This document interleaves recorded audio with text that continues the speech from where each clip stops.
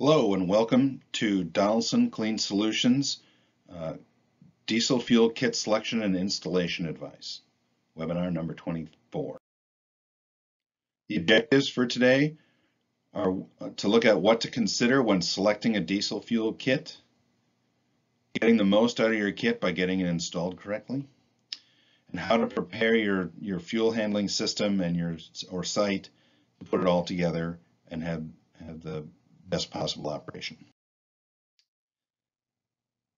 Diesel fuel kit selection decisions can be made uh, following the following chart.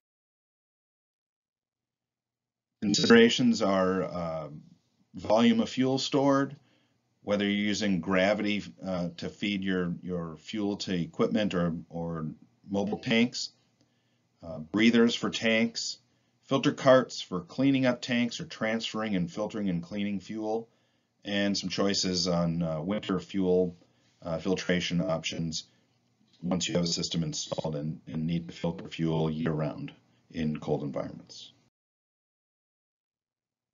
Here's an image of the, of the four different common kits that we sell. We sell a compact kit for small applications and tight installation locations. The standard kit is a standard particle removal kit there down in the bottom left. Upper right is the high capacity kit. It handles higher flow rate, but more importantly, it handles higher capacity, doing filtration on the dispenser side of a system. And lastly, we have a clean and dry kit for situations where you believe you may have an ongoing water issue in addition to wanting to get uh, clean fuel with particulate removal. So we do particulate removal followed by a water absorber and we have a, a trap breather that keeps particulate and condensation from occurring in the tank. Uh, some examples of the types of tanks we're talking here. This is a 500 gallon uh, bulk diesel tank, pretty common in uh, light duty and medium duty uh, diesel fuel consumption situations. Here's a little bit larger system. It's uh, still a fairly low 10 gallon a minute dispense flow rate, but it's a little bit larger tank, so say a few thousand gallons horizontal uh, storage there. Um, something to touch right away on, on small uh, diesel applications is, is gravity filtration. Gravity filtration has been around for a long time and it poses a challenge for people operating modern high pressure common rail equipped uh, equipment. The fuel filtration required for these modern engines is significantly tighter than can be done in a gravity situation. You only have a couple of pounds of pressure to push fluid through a filter and you'll get very short filter life if you do significant levels of filtration there. You can see on both of these systems there are, is a filter in place. Those are typically a screen or perhaps, perhaps a, a water separator. Both of those are very coarse filtration. The type of particulate in fuel is very, very small and it will typically go right through these filters. Those you can tell by the way they look. They've been installed for a very long time and no one has serviced them. Lots of fuel has passed through them, but they have not plugged, which means the filter isn't collecting very much. And we need to do significant cleaning of fuel to protect and, and guarantee long operation of onboard fuel filters on modern high pressure common rail equipped uh, engines. To give you an idea of what's inside a tank, like those stationary tanks we just saw, You'll have uh, the tank is designed to use gravity to help as part of the filtration system. And you can see here, this is diesel fuel sitting over the top of a little bit of dirt and a little bit of water in the bottom of this uh, simulated tank. It's just a glass jar, but uh, gives you the idea that the water and the dirt settle to the bottom and the fuel sits on top. And fuel is typically drawn from a, a few inches up off the bottom to avoid that stuff that has settled to the bottom there. That's the way tanks have been designed for the last hundred years. The dirt and the water settle, and the fuel gets decanted off the top, and the problem basically avoids the pump, and it doesn't get, for the most part, passed downstream. In modern uh, uh, situations, fuel has changed. Water uh, there now helps contribute to the oxidation and, and microbial growth in the fuel, and it starts to cause degradation of the fuel and create solids that can plug filtration. So it's best if you're going to look to install filtration and you're already having operability issues to clean out your fuel infrastructure. This is an image of the inside of a fuel tank that hadn't been cleaned in some time. There was dirt and water in the bottom of the tank and you can see all that material there on the bottom of the tank is actually microbial growth.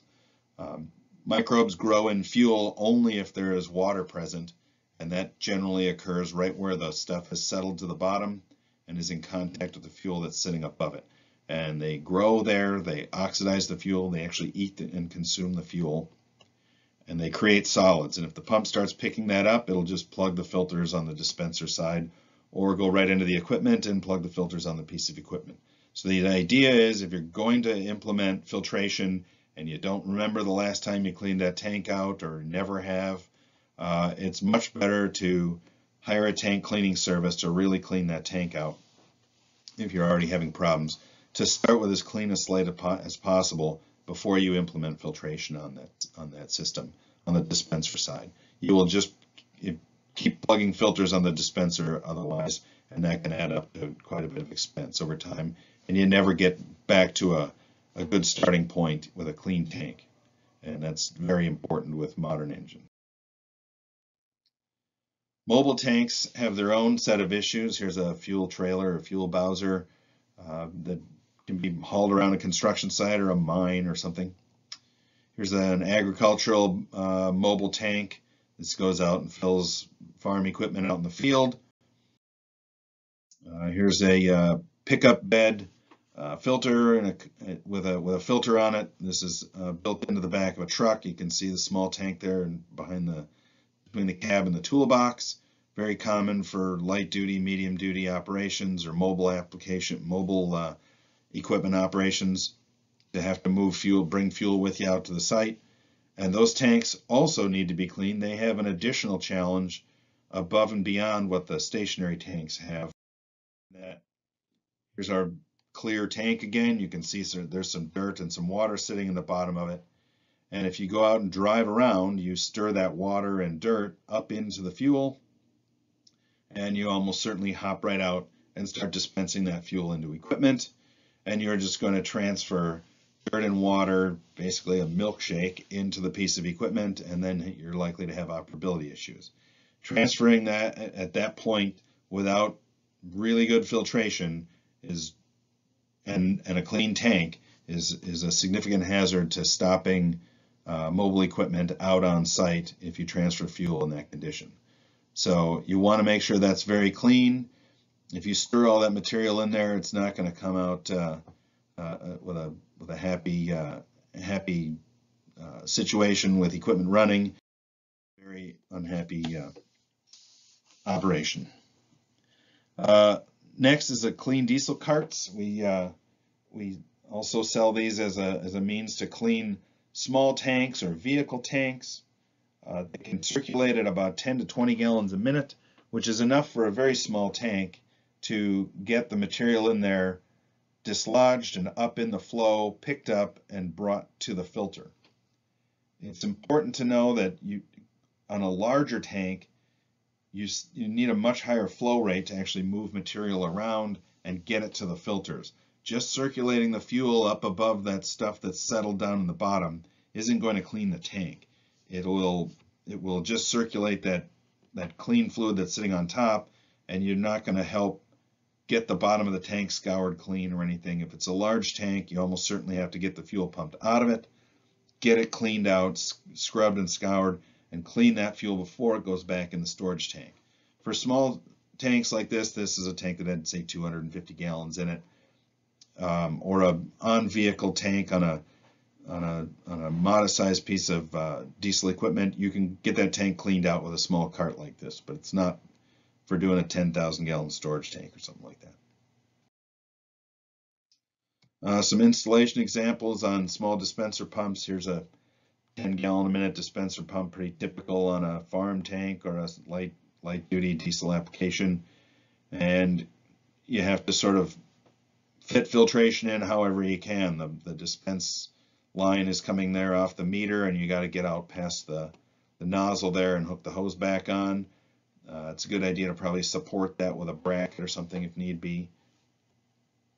Uh, here's a couple mounted to the both sides of a dispenser at a school bus fleet. Uh, here's a sort of medium duty excavator company. Uh, the filters in the middle there, the, in the middle of the photo, the two two filters on a on a dual head there, doing a high capacity and high flow uh, filtration there at about 40 gallons a minute. But this customer goes through quite a bit of fuel.